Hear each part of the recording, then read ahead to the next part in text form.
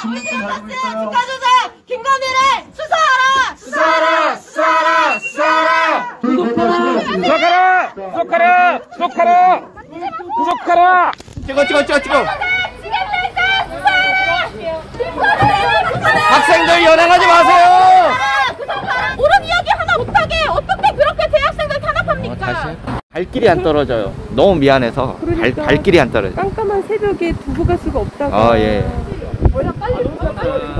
시민으로서 경찰서에 지금 수감된 사람한테 면회를 가겠다는데 이런 거 막는 경우가 어디 있습니까? 지금 경찰서에 갇혀 있는 대학생들을 면회하기 위해서 찾아왔는데 경찰들은 안에 코로나 때문에 더 이상 대기할 수 없다고 이야기를 하고 있습니다. 하지만 확인 결과 면회실에 현재 아무도 없는 상황입니다.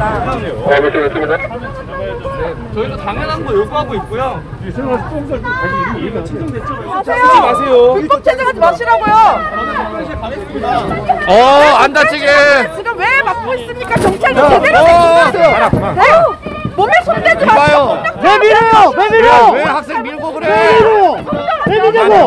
왜 밀냐고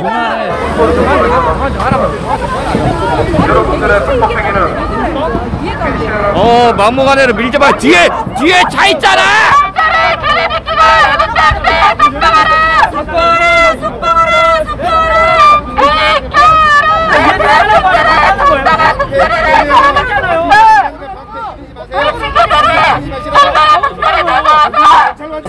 왜 반말하냐고요? 나 지금 반말하는 거 면회장에 있는 동지들 우리 대학생들은 단식 투쟁을 하고 있습니다.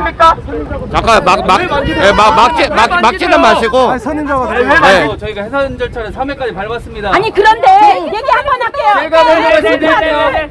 지금부터 이거 20분 후 어, 전원 해산하지는 않으면 네 여기 현장에 있는 학생들 연행해 갈 것이라고 이렇게 지금 경고했습니다. 경고 메시지 날렸습니다. 경찰이 대화를 해. 협박에 협박.